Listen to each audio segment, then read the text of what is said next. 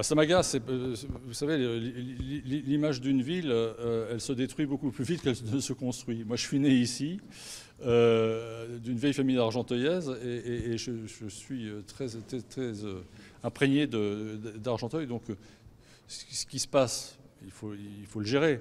Par contre, d'entendre certains petits camarades comparer Molenbeek à Argenteuil, là, ça m'agace beaucoup.